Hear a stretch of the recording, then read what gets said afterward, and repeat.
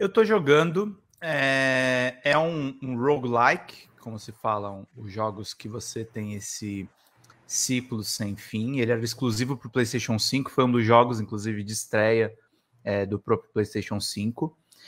A mecânica é simples. Você começa nesse planeta alienígena em que a sua nave cai, você tem uma pistola na sua mão, você tem um recurso elétrico para derrubar o escudo de alguns inimigos. E ele é o que aquele, aquele, eles chamam de Doom Shooter, né, Paulo? Você precisa ser habilidoso um pouco é, no tiroteio em terceira pessoa, né? Conta um pouquinho mais. Então, um pouquinho da história da Housemark. A Housemark, e, ela... e explica também o que é roguelike para a galera entender. A Housemark é uma desenvolvedora finlandesa, né? Dinamarquesa. a Housemark ela começou com títulos uh, tão primor nos primórdios, então a gente está falando do Amiga. Uh, em 93 eles lançaram Stardust, eu estou vendo aqui pelo site oficial deles. Mais tarde eles tiveram. Paulão, ele, ela não é dinamarquesa, não, é de Helsinki. É Helsinki, é finlandesa? Ah, então eu estava entendendo. Eu acho que é finlandesa mesmo. Pardon. Um, mas a Housemark ela teve um, um histórico bastante uh, bem sucedido ao lado a lado com a Sony. Inclusive, uh, para o pessoal que está chegando no Returnal como um dos primeiros grandes lançamentos para o Play 5, uh, quando o Play 4 foi lançado em 2014, eles tiveram. Uh, qual que é o nome do game de novo? É, Resogun. Resogun, que foi um título de multigênero, ele saiu para Play 3 e depois para Play 4. A Housemark ela se especializou num tipo de jogo bastante específico, que é uma experiência arcade, uh, para galera que é versada em shmups e bullet hells, uh, pessoal que joga bastante. Uh, é bullet hell que eu quis dizer com tiroteio, tá, gente? E a empresa é de Helsinki mesmo. Tô, tô, eu chequei agora no site oficial, mas vai lá, Paulão. Ah, maravilha. A Housemarque também foi uma das aquisições mais uma das aquisições mais recentes da Sony. Quando a Sony começou a expandir e a adquirir estúdios, a Housemarque foi uma das preferidas, lado a lado com o pessoal da Guerrilla Games, o pessoal que fez o Horizon, por exemplo. E a Housemarque ela estava na, nas notícias há alguns anos quando eles decidiram que eles iam mudar o seu modelo de negócio e iam caçar tendências atuais, o que preocupou muita gente. Afinal de contas, um estúdio com uma tradição tão forte quanto essa de, um, sabe, raízes, a, a, os tipos de jogos mais, mais clássicos que a gente tem em termos de design.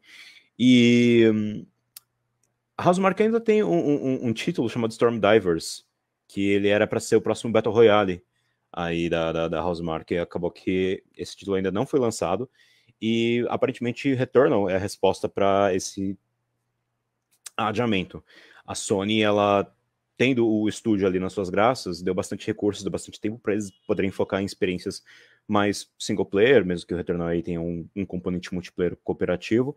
E mais do que isso, o Returnal ele marca uma evolução em termos de narrativa para os games, para o DNA da Housemark. Uh, para quem conhece um pouco do, do gênero, Bullet Hells, uh, uh, shooters e afins, e o modelo roguelike, Uh, eu estou pegando aqui, por exemplo, Binding of Isaac. Binding of Isaac eu acho que é um bom exemplo para a gente poder comparar os dois. Porque Binding of Isaac ele tem uh, várias camadas, eh, uma, vários elementos que tornam o jogo bastante complexo e várias camadas narrativas. Conforme quanto mais você joga o jogo, mais você entende da história.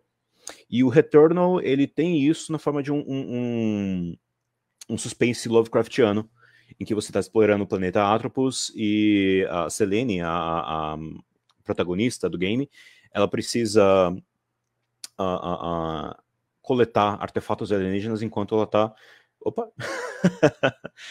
Enquanto ela está sobrevivendo hordas de, de alienígenas que querem exterminar ela.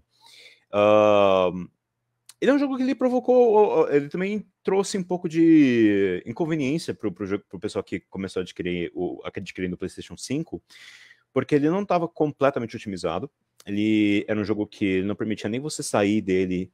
Eh, você podia pausar o jogo, mas acho que se você trocasse de jogo, utilizasse as propriedades do Play 5 para poder ter mais de jogo rodando ao mesmo tempo, o Returnal ele voltava o seu progresso até um, um checkpoint ali e muita, muita gente se viu meio que desmotivada a, a prosseguir no jogo.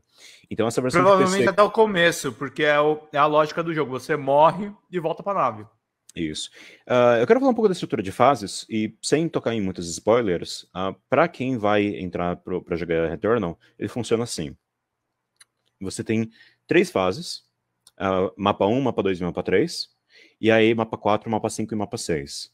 Você só pode jogar, uh, uh, só pode começar uma partida a partir de uma da, do, do, ponto inicial ou da metade. Então você tem que jogar mapa 1, 2 e 3, e depois que você chegou a partir do terceiro, você pode voltar a jogar 4, 5 e 6.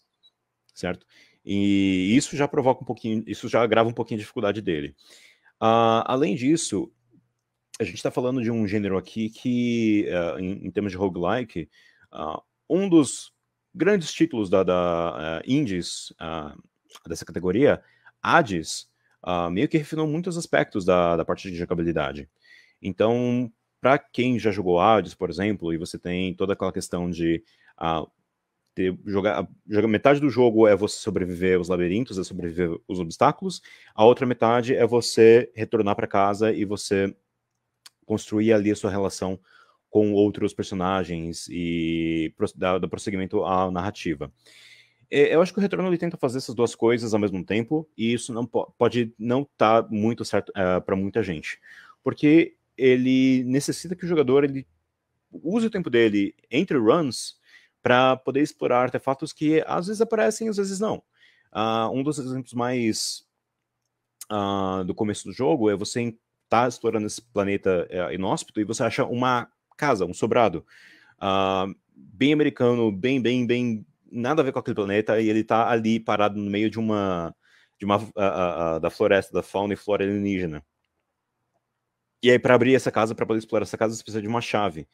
Então, o jogo ele tira você um pouco da, da, da do seu objetivo principal para perseguir é, essas sidequests, para perseguir esses objetivos paralelos. E a, a, eu não consigo ver isso dando certo com muita gente, especialmente porque uh, se você morre muitas vezes, você acaba repetindo várias etapas do jogo e uh, você uh, se importa menos com a história, eu creio. ainda assim, isso é o que eu tenho de ruim para falar do jogo. Agora, o que tem de bom é a House Mark ela se dedica, ela tem uma grandíssima dedicação com aspectos de jogabilidade, com visual, com áudio especialmente. Então, o jogo é uma vedete do Play 5 e no PC ele não está muito atrás, apesar do porte ter uh, uh, ele brigar um pouco com as configurações mais avançadas. Uh, eu acho que atualmente ele não é um jogo impossível de você rodar, mas na, até na, na, na, na, ficha de